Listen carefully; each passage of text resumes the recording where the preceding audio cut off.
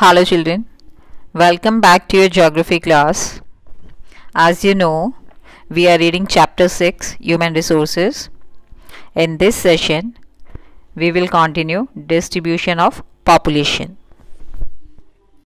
Children, before moving further, you should also know the definition of population in geography. In simpler terms, population is the number of people in a city or town, region, country or world. Population is usually determined by a process called census. What is census? Census is a process of collecting, analyzing, compiling and publishing data. Which data? Population data means number of people data that is known as census. Now children, let's see our topic distribution of population. So again first of all we should know what is the meaning of distribution of population. Distribution of population means the way in which people are spread across a given area that is known as population distribution. Children, now let us try to understand the distribution of population by this comic figure given in your textbook on page number 66. Let's read it out. Here this boy is saying my village has 1000 people.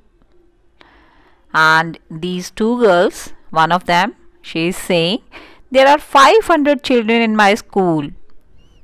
And uh, this lady, she is saying how many people do you think there are in the whole world? Boy is saying there are 30 children in my class. The boy is answering 6.6 billion people.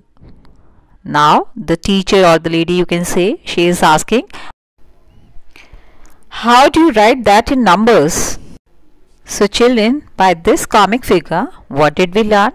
That the ratio or the number of the people are scattered in different numbers.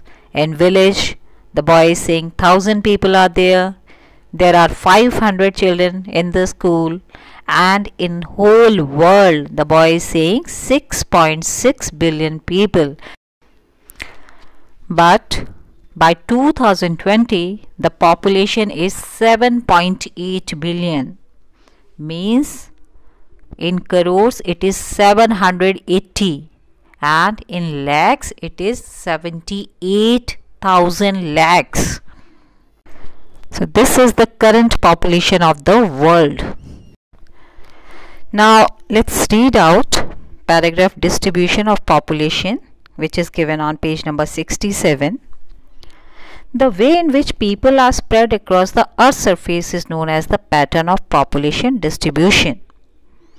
More than 90% of the world's population lives in about 30% of the land surface. Means out of 100, 90% of the population lives in 30% of land area the distribution of population in the world is extremely uneven.